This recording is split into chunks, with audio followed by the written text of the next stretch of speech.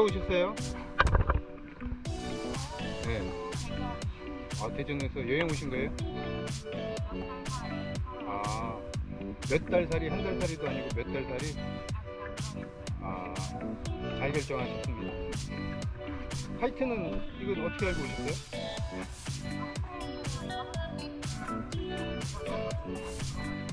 어디서 보셨다고요? 아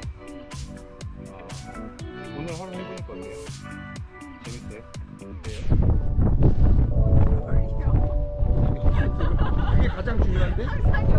영 컨트롤이 가장 중요한데? 자,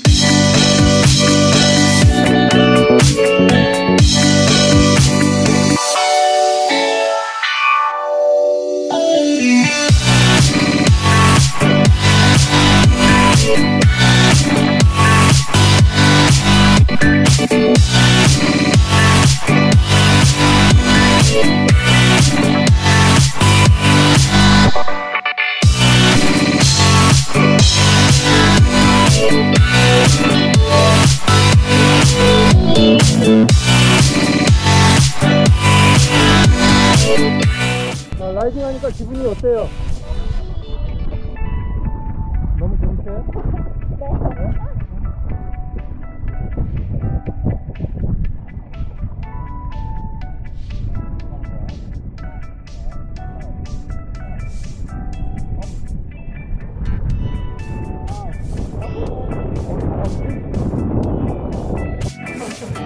아니 제일 고참 아니에요? 아 지금 이 중에 제일 고참인데. 잘 모르겠어요 저희 자막 넣어주세요. 이제 김민수. 4일차. 4일차.